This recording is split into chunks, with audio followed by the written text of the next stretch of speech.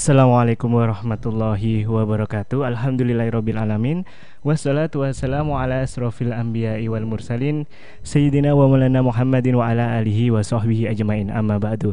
Alhamdulillah hababu nabi ayuhal mustamiun al-kiram rahimakumullah di mana pun anda berada. Kali ini Habibun Nabi kembali lagi dalam program Alifada wal Istifada edisi Senin 2 Muharram 1441 Hijriah atau bertepatan tanggal 2 September 2019 dengan pembahasan hari ini kupas tuntas tentang bulan Muharram. Bersama guru kita Al-Habib Abdullah bin Abdurrahman Al-Muhdor dan juga bersama Ustadz Zahid Ilham di studio kita saat ini. Alhamdulillah beliau sudah hadir di studio kita saat ini Hababu Nabi kita sapa terlebih dahulu. Assalamualaikum ya Habib. Waalaikumsalam warahmatullahi wabarakatuh. Kif habarukum ya Habib? Alhamdulillahi rabbil alamin. Alhamdulillahi rabbil alamin. Nah, Hababu Nabi juga telah hadir di studio kita saat ini yaitu Ustadz Zahid Ilham sebagai multarjim kali ini. Assalamualaikum Ustaz. Waalaikumsalam warahmatullahi wabarakatuh. Bagaimana kabarnya sore hari ini Ustaz? Alhamdulillahirrabbilalamin Alhamdulillahirrabbilalamin Baik Habib Nabi segera kita akan dengarkan faedah yang akan beliau sampaikan di sore hari ini. Dan bagi Habib Nabi yang ingin memantau langsung bisa mengunjungi YouTube Al-Mehdar Tarim dan juga fanspage Facebook Habib Abdullah Al-Muhdar. Disiarkan secara langsung di channel YouTube Al-Mehdar Tarim dan Facebook Habib Abdullah Al-Muhdar. Selamat mengikuti. Tafadhol ya Habib. Alhamdulillah الذي خصنا بحبيبه محمد صلى الله عليه وآله وسلم ومصطفاه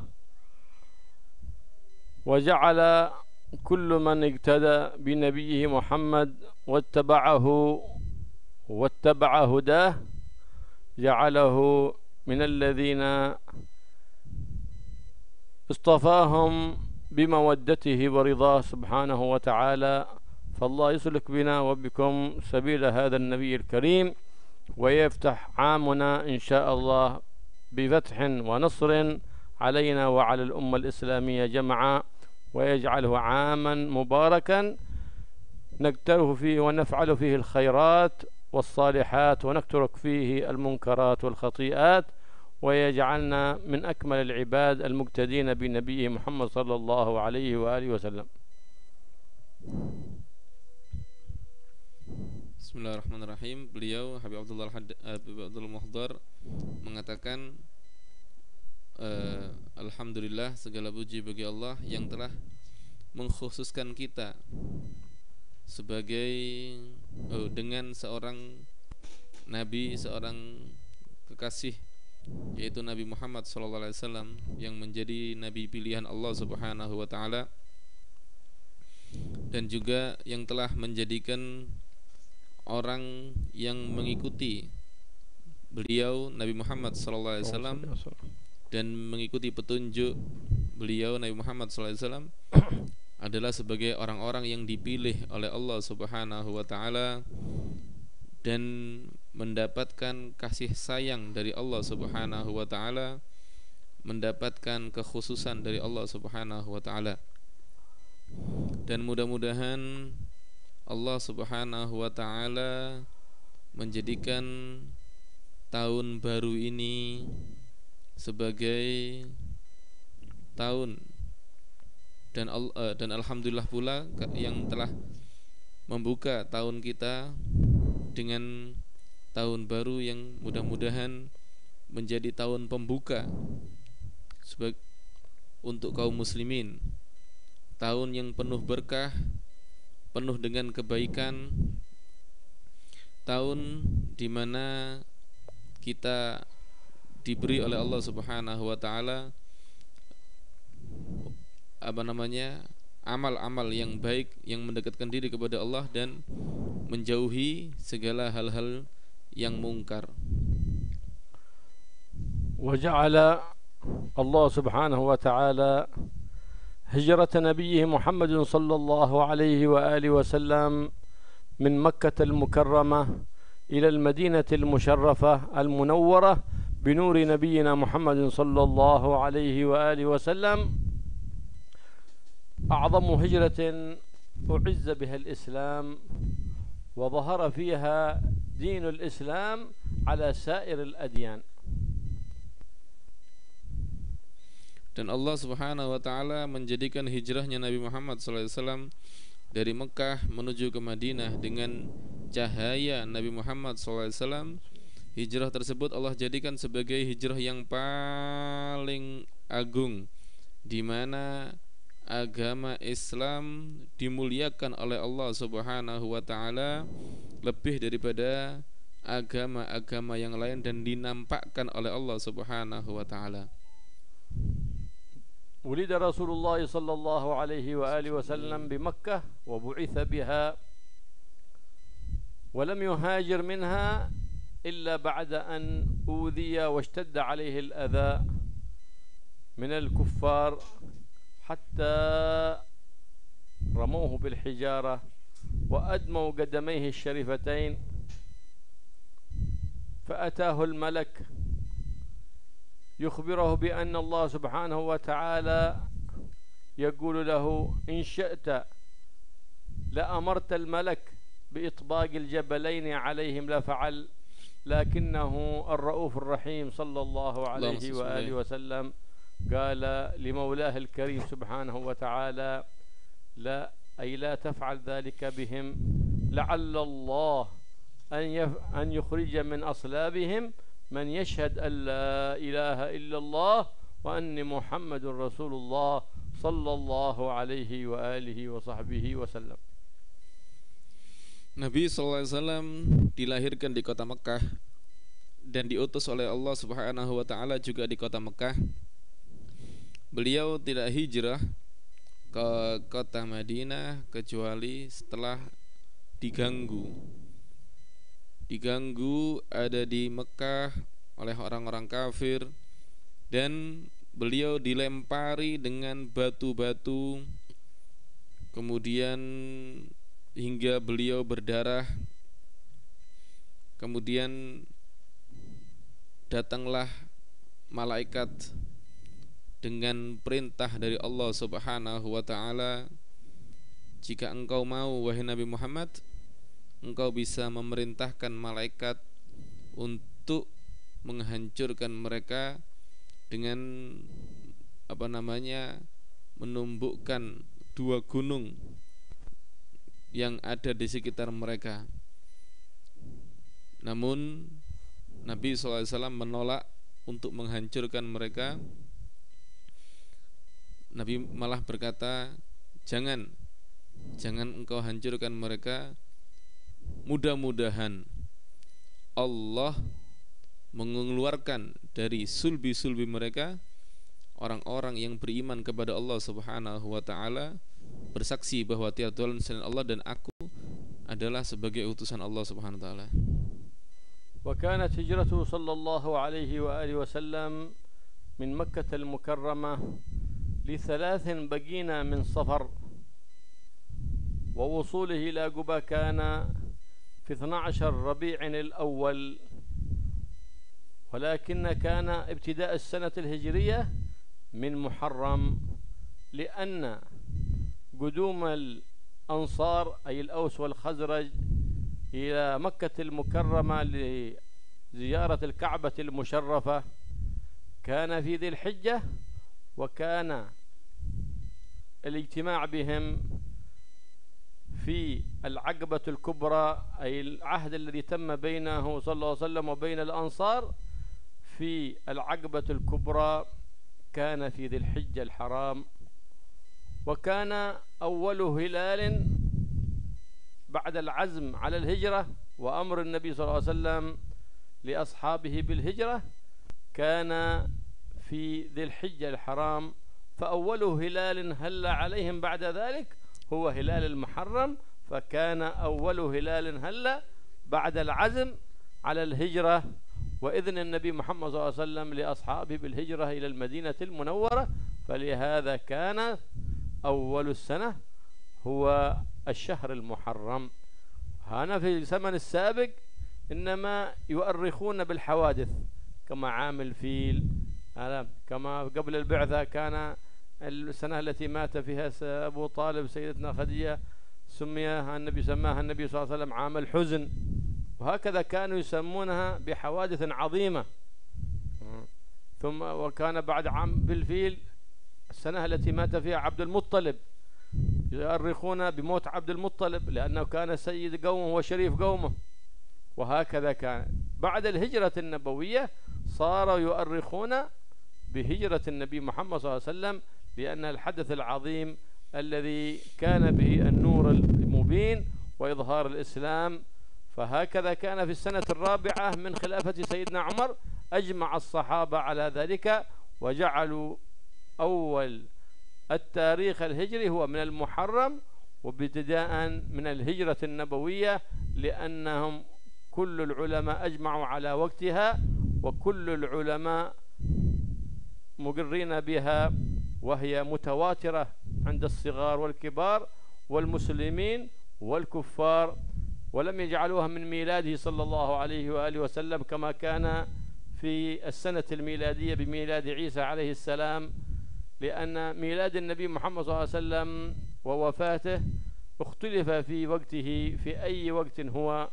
فهذا صاروا إلى الذي أجمع عليه وأجمعوا على وقت الهجرة فلهذا كان بها التاريخ إلى اليوم والليلة يؤرخون بهجرة النبي محمد صلى الله عليه وآله وسلم Nabi Shallallahu Alaihi Wasallam memulai hijrah berangkatnya tanggal 3 Sofar. Kemudian sampai ada بقينا أي باقي ثلاثة أيام وبيدخل الشهر ربيع أول في ثلاث بقينا bukan tinggal ya yakni ثلاث بقينا من صفر yakni tarikh 27 27 Nabi SAW hijrah mulai berangkat dari Mekah menuju ke Madinah tanggal 27 Sofar. Ini tiga hari sebelum sebelum masuk Rabiul Awal. Ya. Tiga hari sebelum masuk Rabiul Awal. Kira-kira tanggal 27 atau ya tiga hari sebelum masuk Rabiul Rabiul Awal. Kemudian sampai ada di apa namanya di Kuba tanggal 12 Rabiul Awal sampai ada di Kuba. Nah, permulaan tahun Hijriah itu kan awal Muharram. Kenapa kok permulaan tahun Hijriah awal Muharram padahal Nabi SAW sampai di sana bulan Rabiul Awal. Nah, jadi ceritanya kata beliau orang-orang Ansor pendukung Nabi SAW orang-orang Madinah itu datang ke Mekah itu di bulan Dhul Hijjah. Kemudian kumpul ya ada di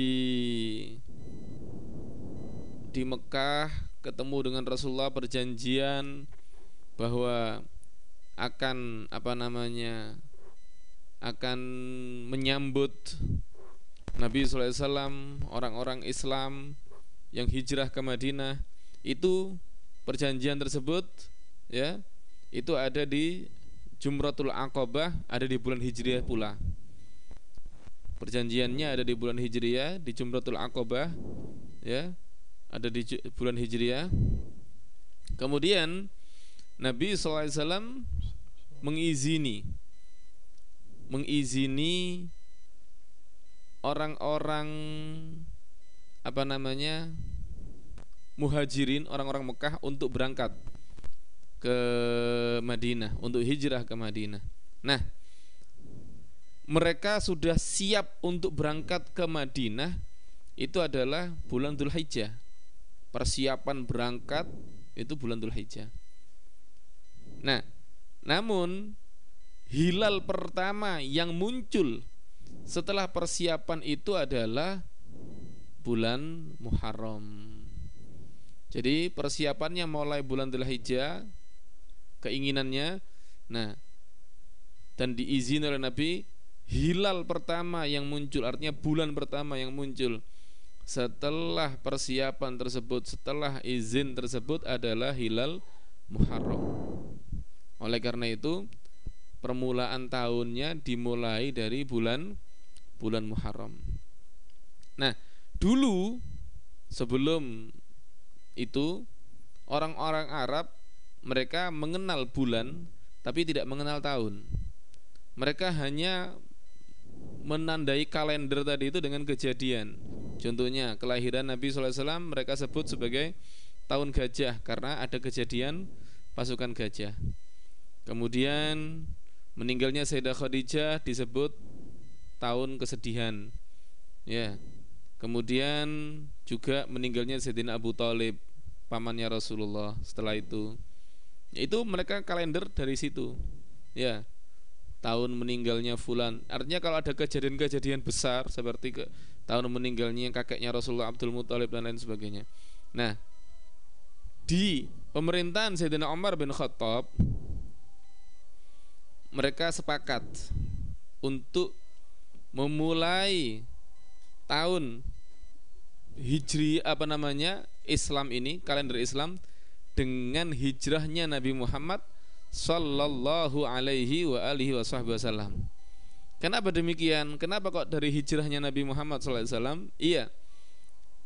Karena yang paling disepakati di, dan riwayatnya mutawatir dan yang paling jelas itu adalah hijrahnya Nabi SAW. Peristiwa yang terbesar itu adalah hijrahnya Nabi Muhammad Sallallahu Alaihi Wasallam. Oleh karena itulah disebut tahun hijriah. Kenapa kok tidak dimulai dari lahirnya Nabi? Seperti orang-orang Nasrani bikin kalender itu, kalender Masehi itu dimulai dari lahirnya Nabi Allah Isa. Dimulai dari lahirnya Nabi Allah Isa. Kenapa Nabi Muhammad kok tidak dimulai dari lahirnya Nabi Muhammad? Iya, karena tidak jelas tentang riwayat kelahiran Nabi itu tahun berapanya itu tidak jelas. Masih belum mereka masih belum mencatat kalender. Ya. Nah, karena tidak jelas, maka mereka tidak menggunakan. Lagi pula tanggal kelahiran Nabi pun juga ada beberapa pendapat. Ada khilaf. Nah, Sedangkan hijrahnya Nabi tidak ada khilaf, sepakat. Semua sepakat tentang hijrahnya Nabi SAW, tidak ada khilaf. Ahli sejarah dan mereka tentunya para sahabat ngikuti waktu itu masih hidup mereka, saksi-saksi matanya masih hidup. Ya, para sahabat masih hidup waktu itu tentang hijrahnya Nabi, mereka semua sepakat, tidak ada pertentangan di antara mereka, maka mereka sepakat untuk mengawali apa namanya tahun tadi itu dari hijrahnya Nabi SAW peristiwa yang paling besar dalam sejarah Islam. Di situlah e, diawali tahun sehingga disebut sebagai tahun Hijriyah. الله يجعل قدوم هذا العام الهجري إن شاء الله قدوم خير وبركة ونصر إن شاء الله وفتوح وأمان على هذه البلاد إندونيسيا وعلى اليمن وعلى سائر بلاد الإسلام والمسلمين يا رب العالمين. Mudah-mudahan Allah e, menjadikan datangnya tahun baru Hijriah ini sebagai tahun yang penuh dengan keamanan, penuh dengan kebaikan, penuh dengan barokah. Untuk kita semua kaum muslimin khususnya yang ada di Indonesia yang ada di negeri Yaman dan semua kaum muslimin mudah-mudahan tahun baru ini adalah menjadi tahun yang penuh barokah tahun keamanan ya tahun yang penuh kebaikan bagi seluruh kaum muslimin amin ya rabbal alamin. وينصرنا وينصر بنا ويصلحنا ويصلح بنا ويصلح في صلاح صلاح للإسلام والمسلمين ولا يهلكنا ويهلك من في هلاك صلاح للإسلام والمسلمين ويغيثنا ويغيثكم برحمة سابقة هنية رحمة المحبة رحمة الإيمان رحمة الإيقان يا حنان يا منان يا قديم الإحسان يا من إذا سئل أعطى وإذا استعين أعان أعنا على ما تريده منا وفقنا لما يرضيك عنا بجاه نبيك محمد سيد ولد عدنان وصلى الله على سيدنا محمد النبي وآله وصحبه وسلم والحمد لله رب العالمين بسر الفاتحة